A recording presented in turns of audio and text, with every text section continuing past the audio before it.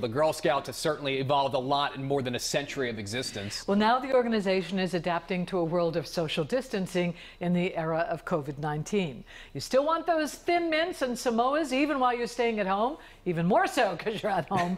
the Girl Scouts have you covered with online cookie sales. I love this. I did not know it. The sweets, they will be delivered right to your door, and all the proceeds will help your local troops. Sign me up for 50 boxes right now. I, you know what? Delivered Girl Scout cookies. It doesn't get any better than that. That's right.